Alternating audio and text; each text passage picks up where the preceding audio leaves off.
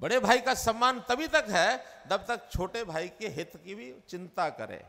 लेकिन अगर छोटे भाई को आँख दिखाने लग जाए तो छोटे भाई की भी लिमिट नहीं है फिर। फिर छोटा भाई उसके बदले क्या करेगा, इसको भूलना नहीं चाहिए उनको।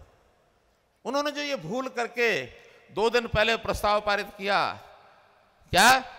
कि पंजाब जो है वो चंडीगढ़ को लेगा। चंडीगढ़ पंजाब का हिस्सा है। अरे हमने कहा एस वाई एल कहाँ गई?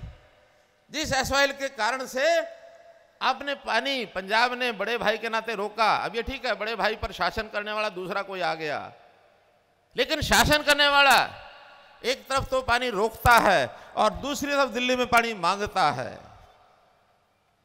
यानी अगर रोकेगा तो मिलेगा कैसे? हाँ सुप्रीम कोर्ट ने यह कहा कि हरियाणा का पानी हरियाणा को दे दो। तो पहले उसको हरियाणा की पानी की बात पूरी करनी पड़ेगी, फिर मांगनी पड़ेगी, बाकी विषय बाद में विचार करेंगे। हमारे हिंदी भाषी इलाका कितना बड़ा? 400 से ऊपर गाँव। कई कमिश्नरों ने कहा है कि हिंदी भाषी सारा इलाका हरियाणा को मिलना चाहिए। पहले हरियाणा को 400 कुछ गाँव है वो दे, तब कोई और बात आगे करें। मैं पंजाब की जनता से कहूँगा कि संभल जाए।